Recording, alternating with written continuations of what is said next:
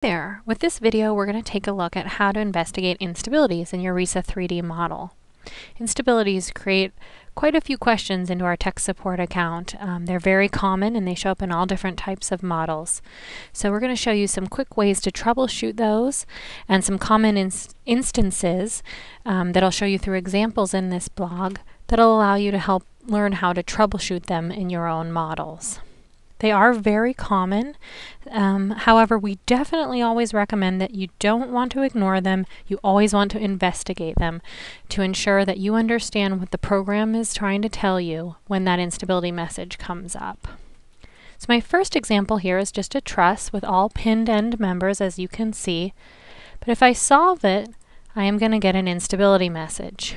You always want to click yes from this unstable model warning dialog because what it's going to do is it'll open up a second model view where it automatically highlights the nodes that it's registering as unstable. To troubleshoot, you always want to compare this model view to the information displayed in the joint reaction spreadsheet.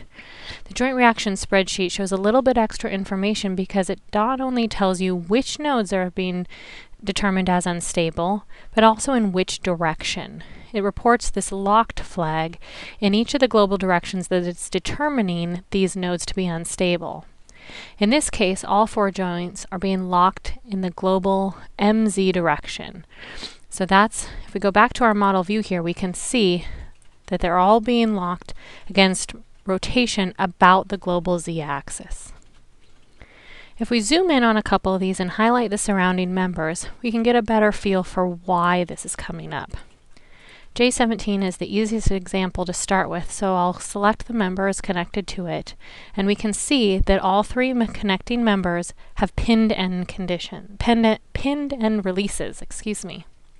Because of this, J17 is fixed in each of the three translational directions, but because all of these members have pinned end releases and therefore restrain no rotational forces, the program thinks that J17 can essentially spin in place. We know in real life this is not going to happen just due to our connections. However, in the model, in the modeling world, this is going to come up as an instability. Um, in order to correct this, in order to make the instability flag go away, the easiest trick is just to simply adjust the member end releases of one of the connecting members. So for instance, with this vertical web member here, if I change the end release to be fully fixed at its connection to J17, we can now see that one member is fully fixed and the other two are still pin-pinned. The purpose of doing this is having the fixity here will hold J17 in place and therefore restrain it against any rotational movement. But because the others are still pin-pinned, there's not going to be the ability to have any moment transfer here. So you're still going to see all axial only forces in your truss members. So now that I've corrected that, let's go ahead and run it again. And we'll see that, yes, we're still getting instability messages for those other three nodes, but the one previously reported here at J17 has been fixed and is no longer reported as unstable. Another similar condition I'll show you here in a second model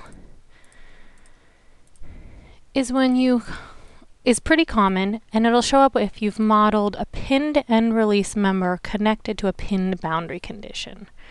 So in this frame here, if I go ahead and solve, we're going to again see that instability message We'll open up the model view and we'll see it's being reported at N1 and N4, both of our boundary condition locations.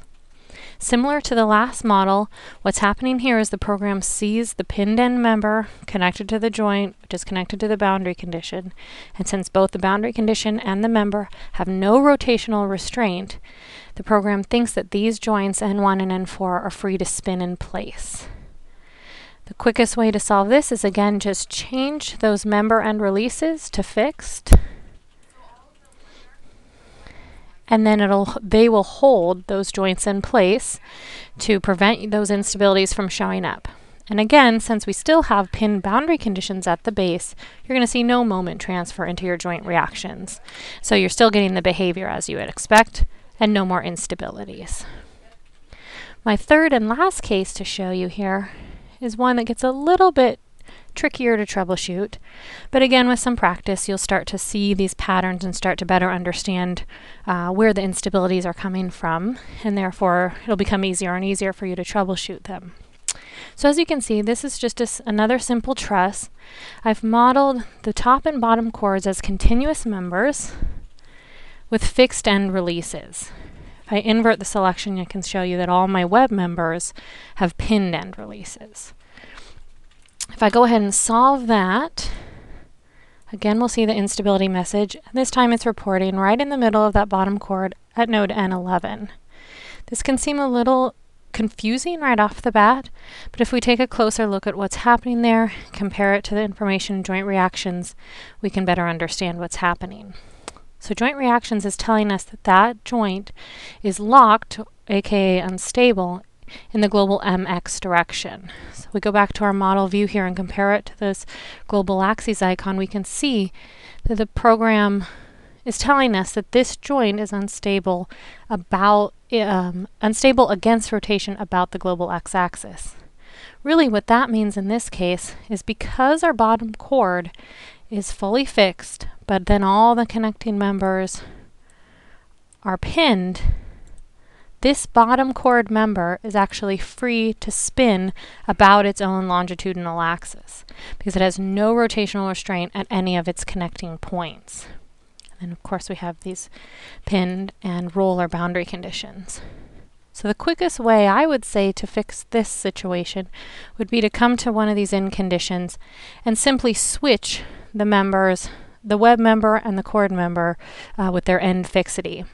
So for example, here at N2, the chord has a pinned end release and the excuse me, the web has a pinned end release and the chord has a fixed. And all I'm going to do is I'm going to switch those So I'm gonna come here. Oops, I did the wrong one. There we go. So now I've switched those around. So essentially we're adding in some fixity coming in from this chord member.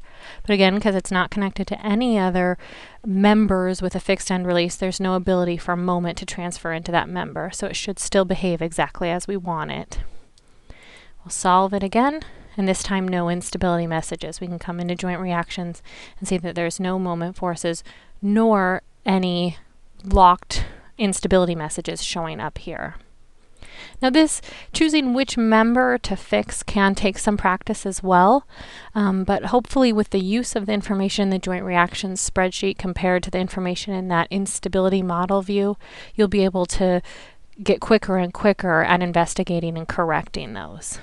Once more, just to reiterate, we always suggest that you investigate them. You never want to just simply ignore an instability um, because certainly they can be indicative of major problems in your model. So you want to make sure you know what the program is telling you when that message comes up. And then you can choose what to do, of course, from there. Thanks so much. Bye-bye.